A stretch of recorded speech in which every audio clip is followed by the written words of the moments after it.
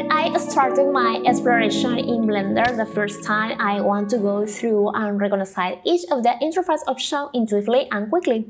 Some options I recognized, but others I did not. For this reason, here I will summarize that help you to know and recognize to shorten your time learning the interface. The first one is top bar. The top bar is divided into the following section, File, Edit, Render, Window, and Help. Under Files, you can open new files, open recent files, save, import, and export files, and other options. The next is Edit menu. You find uh, the option of Undo and Redo, uh, History, Menu Search, and Preference. The next is Render menu. Render image, animation, and audio option, and more. And the last one, Window menu. There are options to create new window in the workspace itself. This option is very useful when you want to try things out and work on several things at once. You can also switch to the next workspace with the next workspace option. And also this option that I love is the save screenshot option. Workspaces are essentially predefined window layouts Blender flexibility with areas lets you create customized workspace for different tasks such as modeling, animating, and scripting. Blender also has several more workspaces added by default.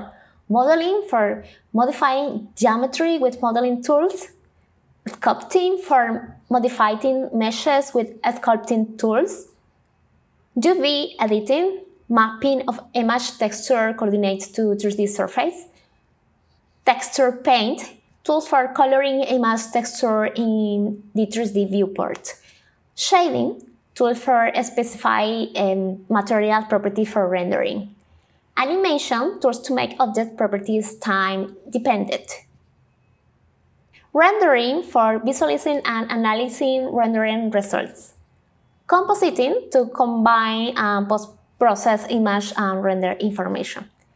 Geometry nodes for procedural uh, modeling using geometry nodes. And the last one, scripting, programming workspace for writing scripts. The Blender window is divided up into several rectangles called areas. Areas reserve screen space for editors such as 3D Viewer or Outliner.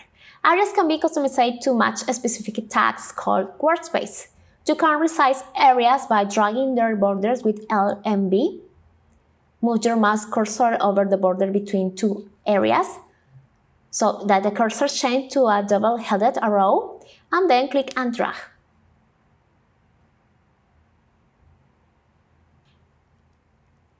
Each mode is designed to edit one aspect of the selection object.